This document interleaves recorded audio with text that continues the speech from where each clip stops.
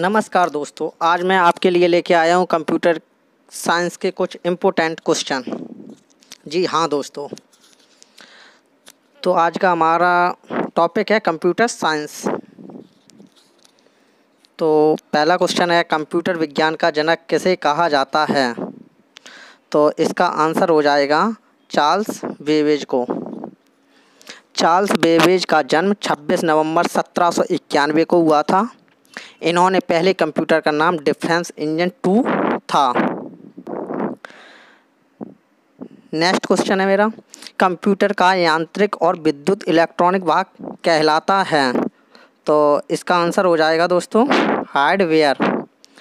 जो hardware computer का भौतिक भाग होता है, जिसमें उसके डिजिटल सर्किट लगे होते हैं, जैसा कि कंप्यूटर सॉफ्टवेयर से प्रदर्शित होता है।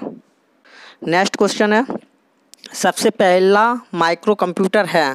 सबसे पहला माइक्रो कंप्यूटर मेरा अल्टेयर आठ हज़ार आठ सौ है। नेक्स्ट क्वेश्चन है मेरा, बेसिक कंप्यूटर भाषा आई। तो ये मेरी तृतीय पीढ़ी, इसका सी ऑप्शन सही है।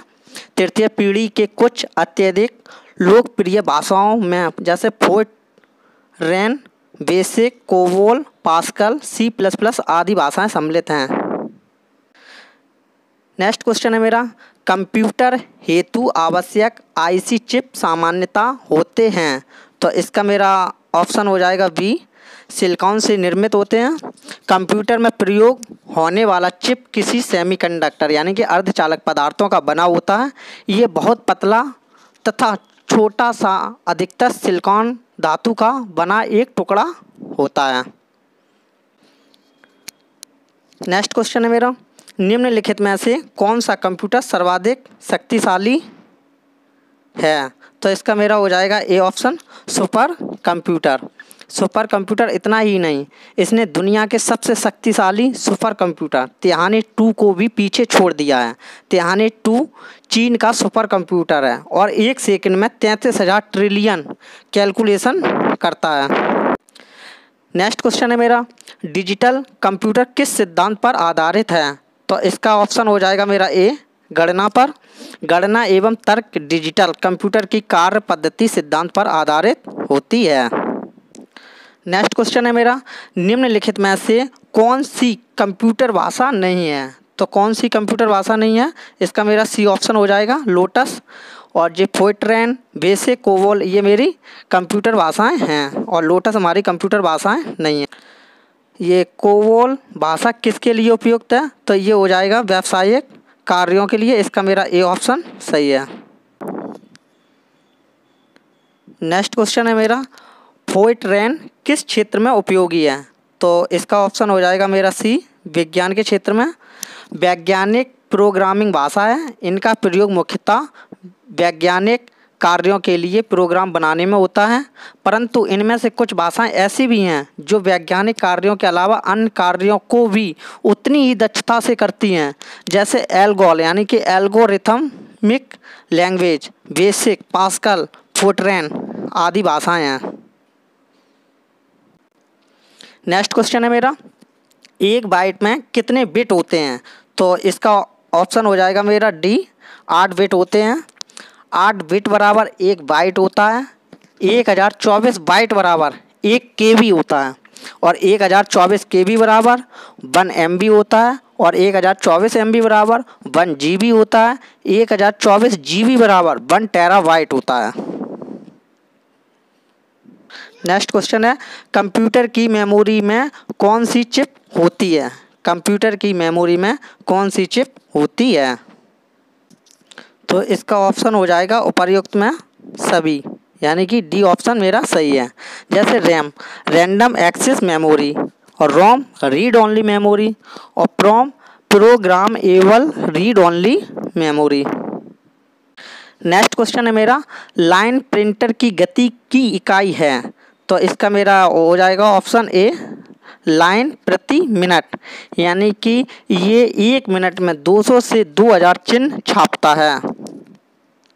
नेक्स्ट क्वेश्चन है हमारा इंटीग्रेटेड सर्किट चिप पर किसकी परत होती है? तो इसका ऑप्शन हो जाएगा ए ये एक सिलिकॉन की चिप बनी होती है।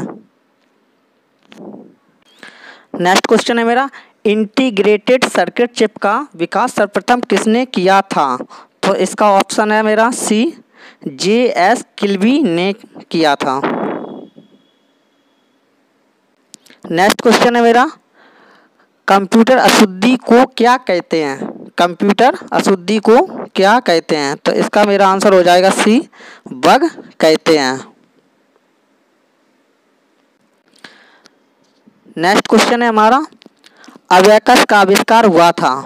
तो अवैकस का आविष्कार चीन वाले लोगों ने किया था जोड़ घटाने के लिए। तो इसका मेरा बी ऑप्शन सही है। नेक्स्ट क्वेश्चन है मेरा। सबसे पहला स्टोर्ड प्रोग्राम कंप्यूटर था। सबसे पहला स्टोर्ड प्रोग्राम कंप्यूटर था। तो मेरा इसका ऑप्शन हो जाएगा ए। ये एक एड सेक था, यानी कि electronic delay storage automatic calculate यानी कि यह एक प्रारंभिक ब्रिटिश कंप्यूटर था। इसका फुल फॉर्म है electronic delay storage automatic calculate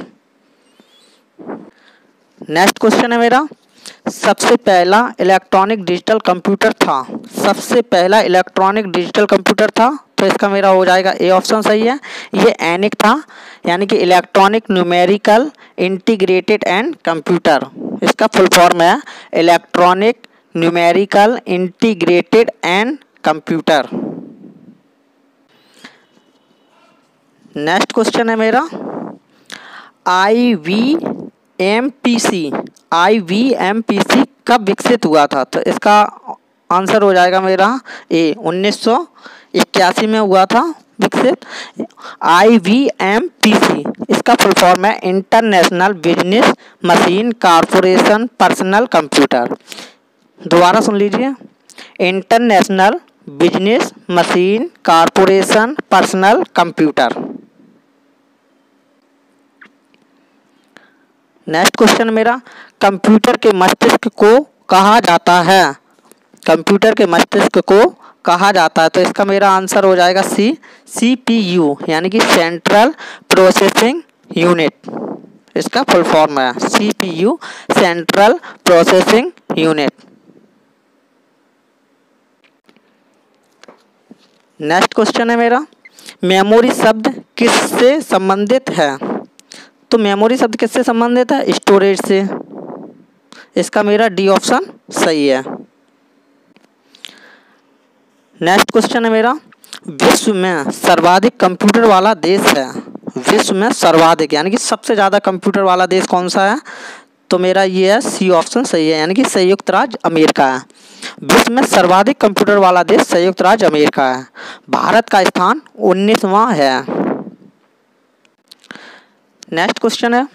NASA द्वारा विकसित सर्वाधिक तेज सुपर कंप्यूटर है। नासा द्वारा विकसित सर्वाधिक तेज सुपर कंप्यूटर है। तो दोस्तों, इसका आंसर हो जाएगा वी यानी कि कोलंबिया।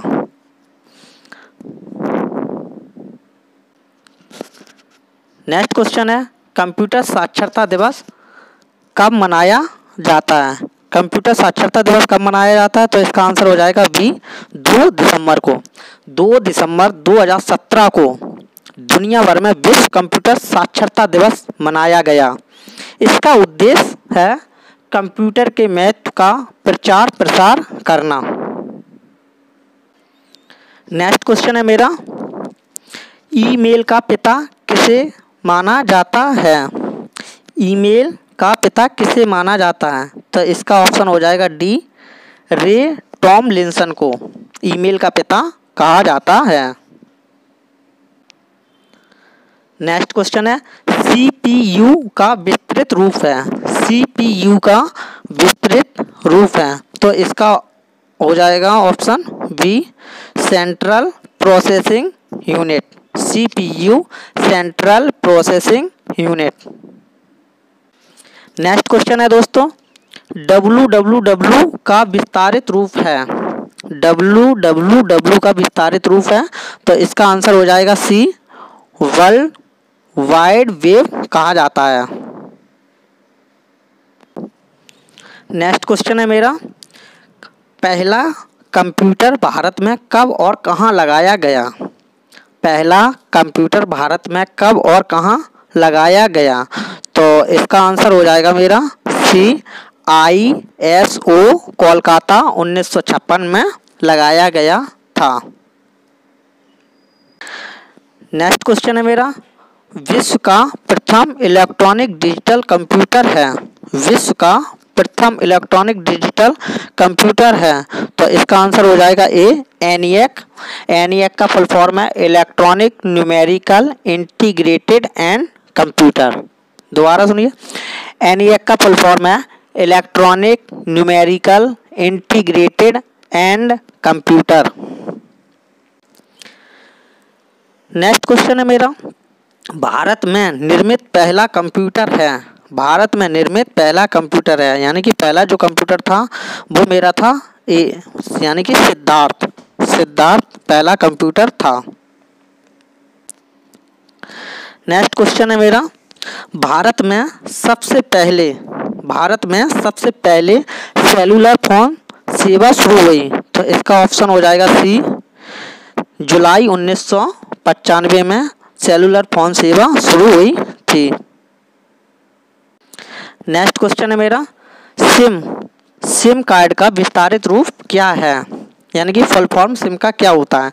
तो इसका आंसर हो जाएगा मेरा ए सब scriber identity module subscriber identity module.